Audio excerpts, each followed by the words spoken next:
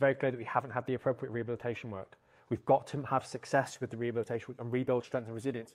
And when we have a discectomy, we are, we are, with a good surgeon, they're going to communicate this to you. And so when we have the herniation, the problem is not that the herniation has taken place. The problem is that the tissue damage to the annulus fibrosus has allowed the herniation to take place.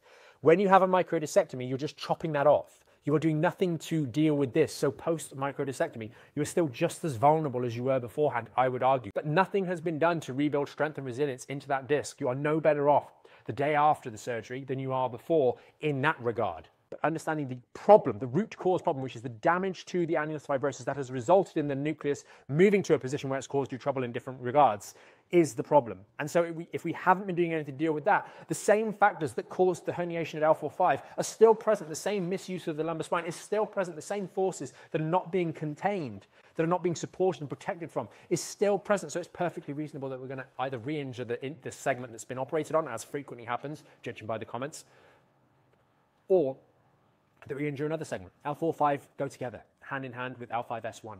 Those segments are so closely related to one another in terms of the dysfunction. And so that's why you're getting the pain because we haven't done the rehabilitation work. Now, add on to that a layer of complexity with the pregnancy. Um, you know, that's going to be tough, but you just have to do the best you can. You just have to do the best you can.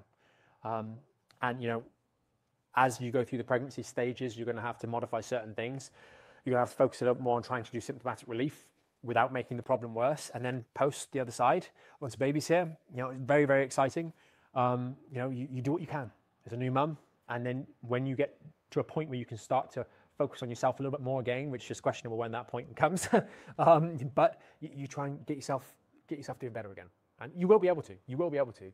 It's just going to take a little bit of time. And then obviously there's considerations of things like C-sections if we've had those, and rehabilitating the, the control of the core. Um, but you know you can start that right now, and you'll, you'll you'll at least be setting yourself up for the best possible circumstances.